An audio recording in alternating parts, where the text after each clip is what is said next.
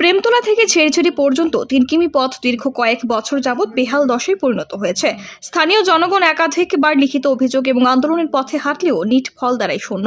তাই বাধ্য হয়ে স্থানীয় বাখন উচ্চতর মাধ্যমিক বিদ্যালয়ের পড়ুয়ারা গত সতেরোই আগস্ট তিন কিমি পথ মেরামতির দাবিতে প্রেমতলা ট্রাই জংশন এলাকায় পথ অবরোধ করে বসে।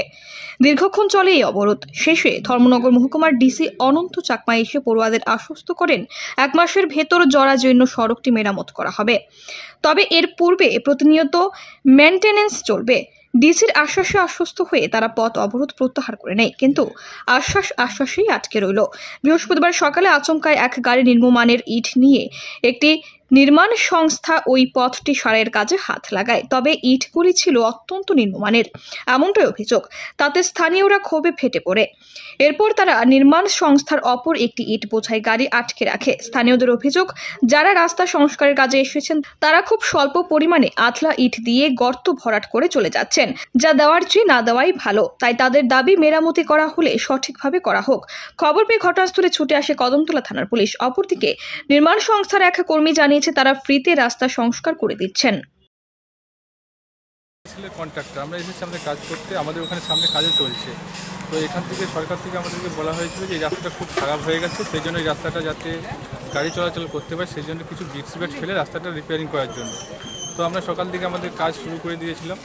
মালও এসেছে, আমরা এখানে সকালে প্রেমতলা বাজারের সামনে, আমরা এখানে মাল ফেলে দিয়ে গেছি এবং গাড়ি যাতে চলাচল করতে পারে, সেই জন্য আমরা সেরকম রাস্তা বানিয়ে দিয়ে গিয়েছিলাম। কিন্তু এখানকার কিছু লোকাল মানুষ কী করেছে যে এখানে বলছি যে আমাদের রাস্তা উঁচু করে বানিয়ে দিতে হবে।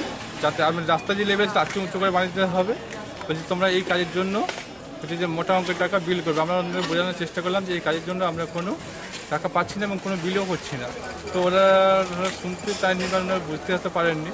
সেই হিসাবে ওরা বলছেন যে রাস্তা আমাদের আরও উঁচু করে বানিয়ে দিতে হবে। আমাদের দ্বিতীয়বার গাড়ি এসছে, গাড়ি আটকে এখানে রাস্তার মাঝখানে গাড়ি আটকে রাখে।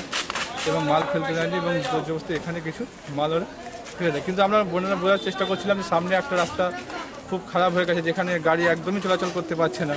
সেখানে হচ্ছে যে আমরা মালটা ফেলেছি যাতে গাড়িটা চলাচল করতে পারে, কিন্তু ওনারা সেটা শোনা শোনেনি এখানে এদিকে জানা গিয়েছে, মুখ্যমন্ত্রী আসবেন বলে তাদেরকে দিয়ে বেহাল সড়কটি মেরামতি করাচ্ছে। অবশেষে আধা সামরিক বাহিনীর কঠোর নিরাপত্তার মাধ্যমে বিকল্প জাতীয় সড়কের সংস্কারের কাজ করা হয়। এ নিয়ে ক্ষোভে ফুসছে স্থানীয়রা। Bureau report Resist News.